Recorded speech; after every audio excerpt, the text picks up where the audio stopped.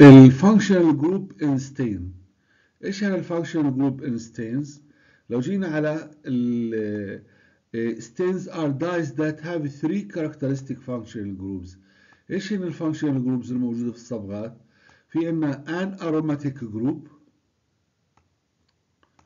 مثل ال benzene ring في عندنا chemical group نطلق عليها ال chromophore ال chromophore بتعطي لون لمين؟ لل aromatic group وعلى ذلك لو جينا مع بعض ال aromatic group مع ال chromophore إيش بنطلق عليها اسم؟ ال chromogen. تمام. إيه ال auxochrome group إيش ال auxochrome group؟ which allows ال compound to إيه يعني بتحب بحيث إنها بتسمح للمركب إنه يرتبط بمين؟ كهربائيا أو تساهميا مع مين؟ مع ال target thereby staining it. مع ال target مع الميكروب الموجود أو المركب الموجود بحيث إنه إيش؟ تعمل صبغة له ممتاز. طب حتى نفهم أكثر هذا الموضوع كله بنيجي هنا هنا على سبيل المثال إيش إحنا قلنا؟ aromatic هاي ال aromatic ممتاز. وقلنا إيش إحنا في شغلة ثانية؟ اللي هي ال chromogen.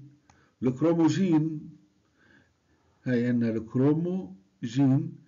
إيه لما يجي يرتبط اللي زي هنا موضح هنا عندي إيه trinitrobenzene اللي هو yellow color chromogen. لما يجي يرتبط مع مين؟ مع ال aromatic group إيش بيطلق عليه مع بعض؟ اسمه chromophore. اذا هنا صار واضح عندي. إيش صار واضح؟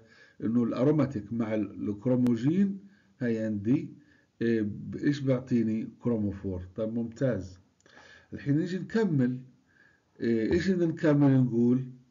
الآن هذا ال عندنا الآن في حاجة بنطلق عليها ال auxochrome ال auxochrome مقصود فيها ال ionic interaction ال ionic interaction يعني على سبيل المثال هنا عندي ال OH في عندنا H negative H plus positive.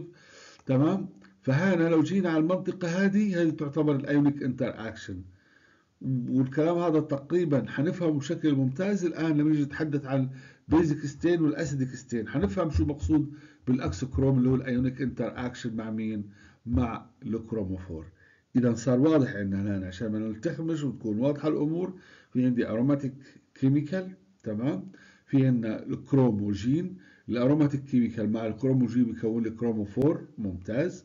الحين بما إنه موجود عندي ال chromophore في حاجة ضايله اللي هي ال auxochrome إيش ال auxochrome مقصود فيها؟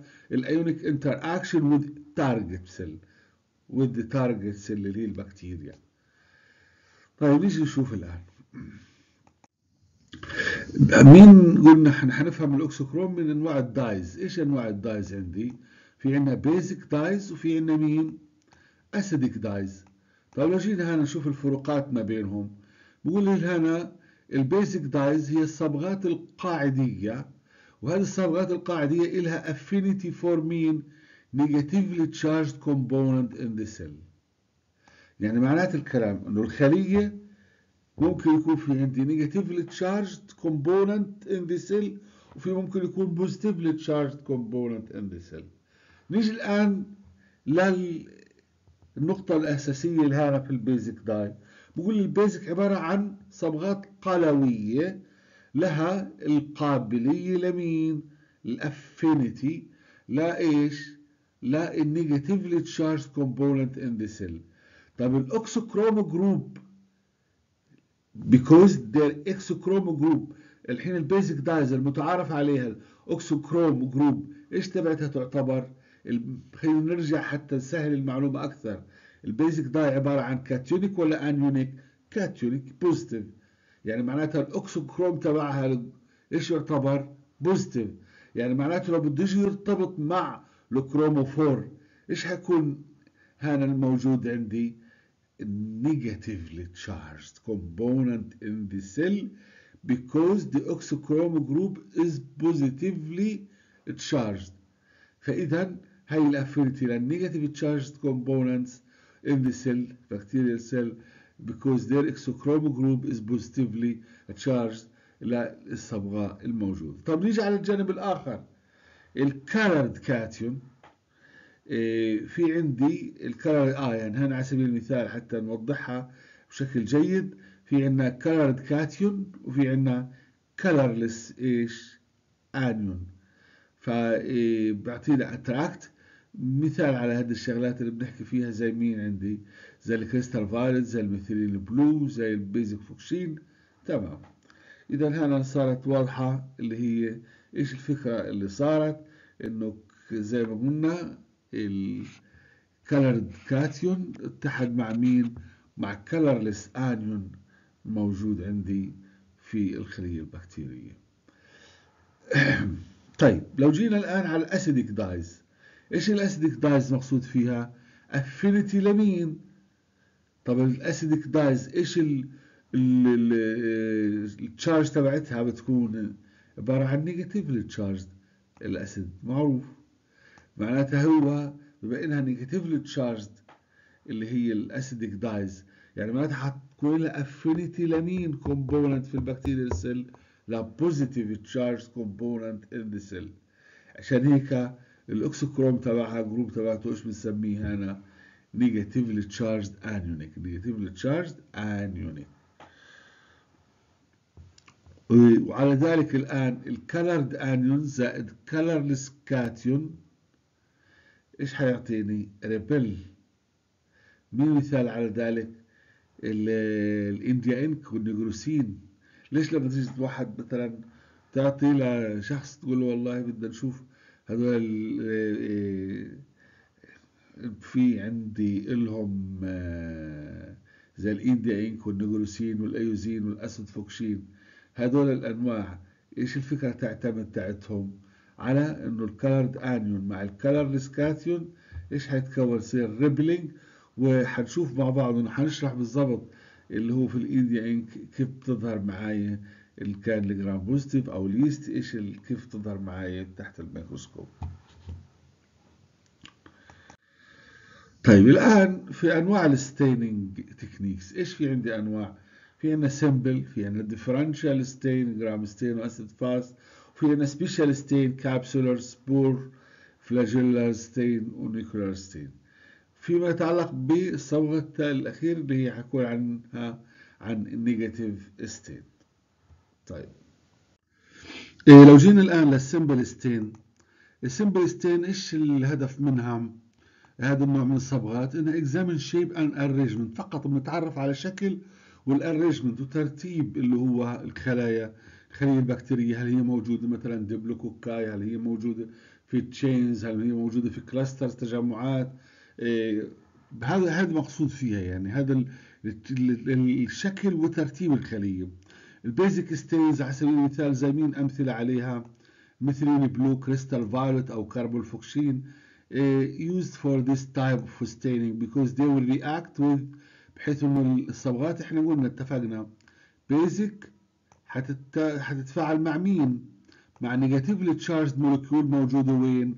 على في الخلية البكتيرية basic بتتفاعل هذا ال ionic interaction اللي حكينا عليه ال auxochrome ال auxochrome عبارة عن basic stains اللي هي ال cationic تتفاعل مع مين؟ مع anionic مين ال anionic؟ اللي هي negatively charged molecule موجودة في ال cell مثل ال nucleic acid وال cell wall components ممتاز. في هنا differential stain. differential stain uses two counter dyes to distinguish between different types of organism.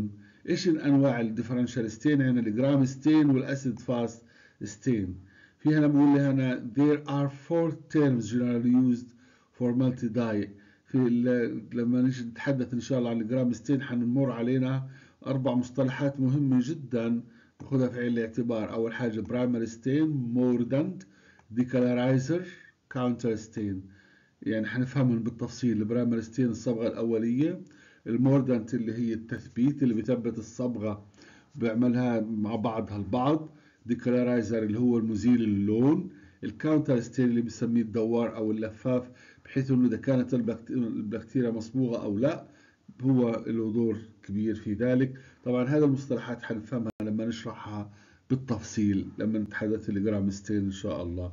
ال gram stain إيش الوظيفة المركزية تاعتها؟ بتقسم البكتيريا إلى نوعين gram positive و gram negative بكتيريا في عندنا نوع من أنواع ال stain اسمه special stain إيش special stain وظيفته؟ اللي هو بصبغ اللي هو cellular structures particular cellular structure particular cellular structure some example على سبيل المثال إيش في مثال؟ capsular stain في عندنا spore stain في عندنا flagellar stain في عندنا nuclear nuclear stain ال capsular stain اللي هي الصبغة اللي بتصبغ لمين للكبسول. بحيث انها بتستخدم visualize capsule إيه مثال على ذلك generally a polysaccharide coat that some cells produce إيه في عندنا spore stain detect spores specialized resting cells طيب تثبتوا الصبغة السبورز السبورز الأبواق الجرثومية flagellar stains enables one to see the flagellar filaments which some cells use for movement. اللي هي الفلاجيلر اللي هي مسؤولة على إنها سيد الفلاجيلا فيلامنت اللي طبعا لها دور في الحركة نيوكلير ستين اكزامين نيوكليوس ممتاز. في هنا من ضمن الصبغات حتمر معانا اللي هي النيجاتيف ستين these types of stain والكلر هذه بحيث انها حتصبغ كل شيء ما عدا المادة الميكروب المراد رؤيته. يعني بتصبغ كل شيء ما عدا الميكروب المراد رؤيته بحيث إنه تم الاستفادة من ال negative stain اللي بحيث إنه بستطيع ان أتعرف على ال capsular material surrounding cell ال capsular material اللي بتحيط بالخلية. ال capsules والبيسين إيش الكبسول حتكون؟ clear area زي ما إحنا حكينا. color everything except the object of interest. فهذا ال capsule will be seen as clear areas after applying the negative stain in the ink واللي هنا the cell and background are color ال cell وال back are colored while the capsule إيش مالها بتكون عندي colorless ال cell وال background بتكون ملونة ما عدا الك... بالنسبة للكبسولة المادة المراد رؤيتها إيش بتكون colorless staining بكتيريا. عملية صباغة البكتيريا تمر ب two steps خطوتين. أنا بعمل smear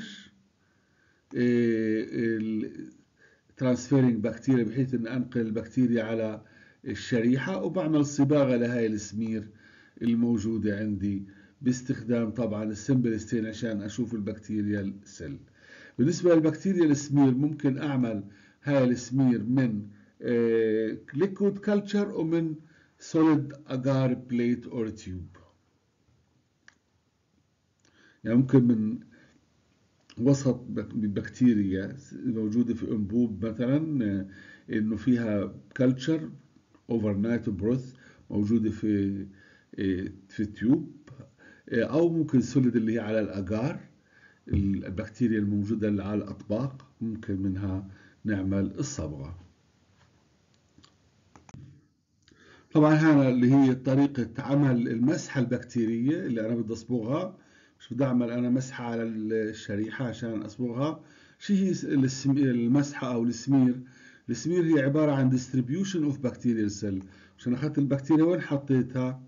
على slide وعملت لها mixing مع saline تمام؟ For viewing them under the microscope. عشان نشوفها تحت الميكروسكوب. هي عبارة عن إيش؟ أنا أخذت طبعا one needle of solid bacterial growth أخذت بكتيريا أو أخذت two loops of liquid bacterial growth أو بكتيريا موجودة في أنبوبة بكتيريا سائلة وحطيتهم على slide if working from solid media add one drop طبعا and only one drop of water to your specimen with the water bottle if using broth medium don't add the water. إذا استخدمت انت broth medium فيش داعي للمية لكن في حال إنك استخدمت بكتيريا ممكن تستخدم اللي هو distilled water عشان تعمل السمير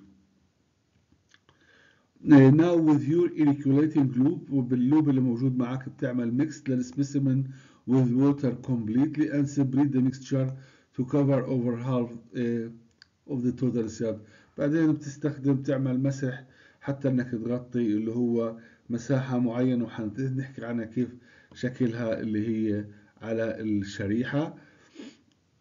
تعمل heat لل loop تعقم ال loop allow slide to dry تستنى الشريحة إنها تنشف. بعدين بتعمل pass slide وتمرر هذه الشريحة على اللهب ثلاث أربع مرات حتى تعمل إيش fixation وتقتل مين؟ البكتيريا. الكلام هذا اللي شرحناه موجود هنا بالتفصيل هي عند المية واخذت بكتيريا. إيه الآن هنا عمل mix عملنا mix لل specimen مع ال water مع المية إيه spread هيك شايفين لما حكينا أنا spread قلت لكم هيها عملنا لها spread واستنيناها إيش تنشف وبعد ما تنشف حنعمل لها إيش fixation اللي هي تمرير على اللهب. مرات بكون عندي موجود أنا مش على في طبق بكون موجودة في أنبوبة على شكل سائل. فلما يكون سائل بلزمش استخدم مية باخذ مباشرة من ال liquid culture two loops زي هيك بحطهم على الشريحة وبستنى تنشف وبكمل الصباغة نفس الكلام اللي شرحناه تقريبا بالتفصيل. هي كيف أنا بعمل من solid solid يعني هي طبق عليه بكتيريا. أما liquid يعني بتكون أنبوبة وتكون هنا الأنبوبة هذه إيش؟ سائل هنا عبارة عن مرق بكتيريا سائلة وموجود فيها بكتيريا ال growth تمام؟ فهي التنتين كيف طريقة الأخذ منهم؟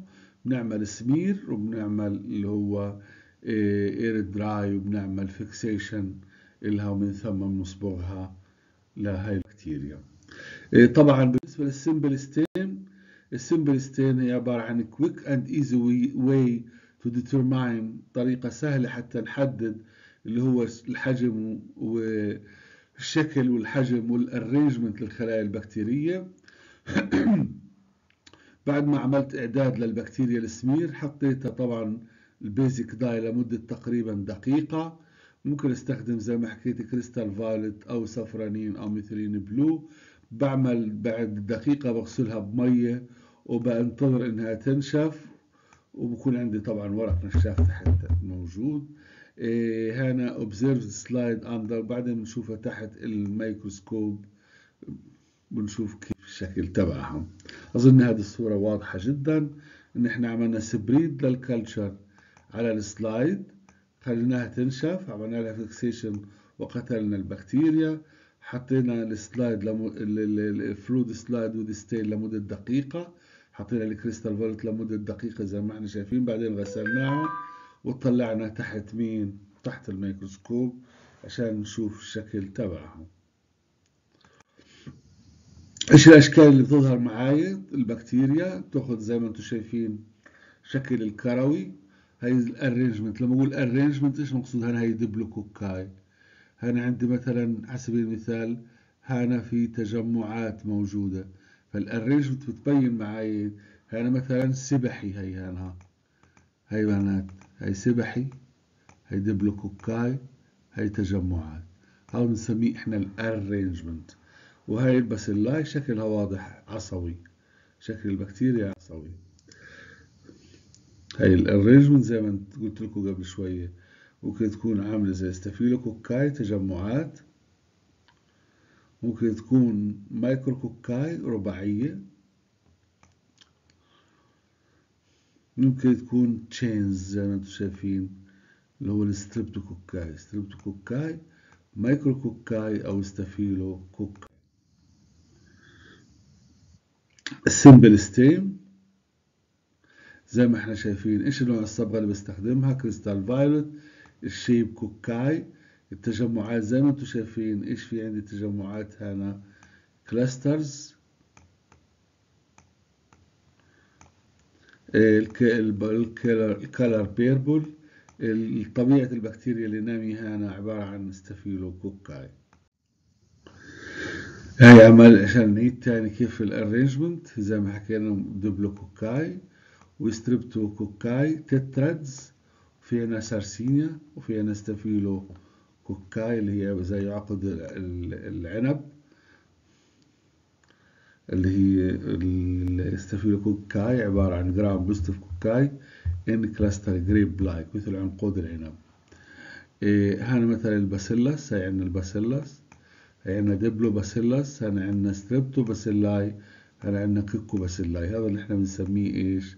cell arrangements إيش الترتيبات اللي ممكن يكون فيها شكل ال cocci أو شكل مين ال bacilli هنا اللي هي عبارة عن الأسئلة. بنقرأ الأسئلة جيدا وبنجاوب عليها وبنكتبها في التقرير بشكل جيد وواضح. وأعتقد هذه الأسئلة تم إجابة عنها خلال شرحنا للمحاضرة العملي وموجود بشكل تفصيلي داخل المعمل. وأي استفسار ممكن لو كان في أي أسئلة مش واضحة وأي استفسار عنها بإمكانكم الرجوع والاستفسار منها إن شاء الله رب العالمين. تمنياتنا لكم بالتوفيق دوما والسلام عليكم ورحمة الله وبركاته. إلى أن نلتقي في المعمل القادم. أترككم في رعاية الله والسلام عليكم.